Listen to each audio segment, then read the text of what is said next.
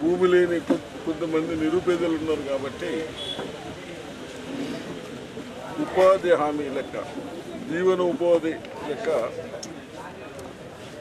మన అయితే చెరువులు ఉన్నాయో మన సాంప్రదాయ ప్రకారం చెరువులలో చేపలు పెంచుకుంటూ మనకు ఉపయోగపడేట్టు చేస్తూ ఉన్నాం. దాంట్లో భాగంగా ఈరోజు మన కలెక్టర్ గారు మేము టైర్ గారు నర్సరెడ్డి గారు అందరూ వచ్చాం.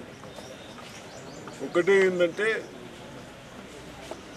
ఏదైతే చేప పిల్లలు వేస్తూ ఉన్నామో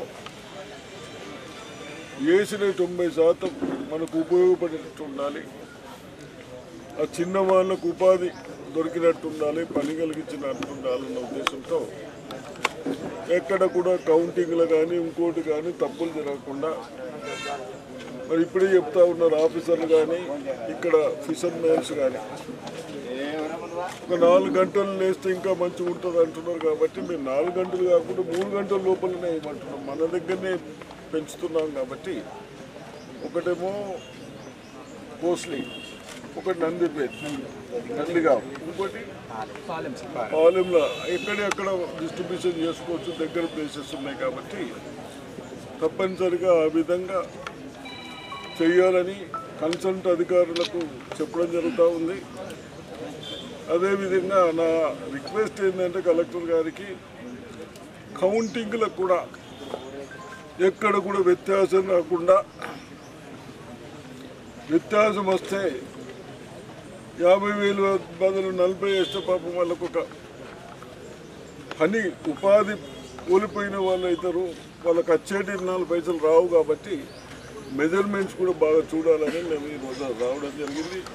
తప్పనిసరిగా మీ అందరికీ సంఘ నాయకులకు కానీ ఫిషరీస్ మ్యాన్లకు కానీ రైతులకు కానీ ఎక్కడ అల్లరి లేకుండా ఏదైనా ఉంటే మా దృష్టికి తీసుకురండి.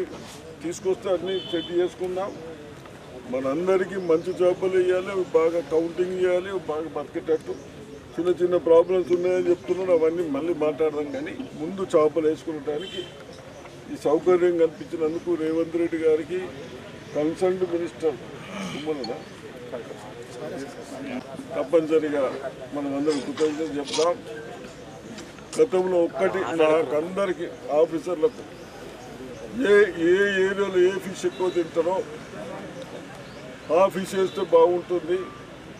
మరి నైంటీ రూపీస్ కాడికి తొంభై రూపాయల కాడికి కేజీ తీసుకుపోతున్నారని చెప్తా ఉన్నారు కాబట్టి ఆ విధంగా మరి ఒక ఒక్క పిల్లలు ఇప్పుడు టూ హండ్రెడ్ వచ్చినాయి.